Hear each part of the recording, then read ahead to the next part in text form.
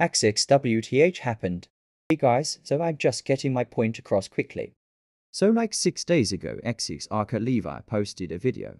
It was this. TW ahead if you're triggered by suicide, please click off or skip the video.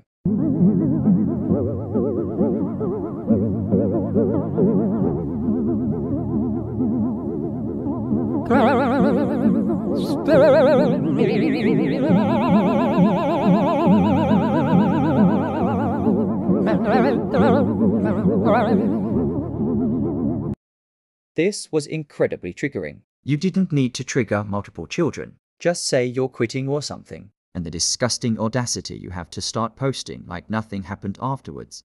You had so much people worried for you.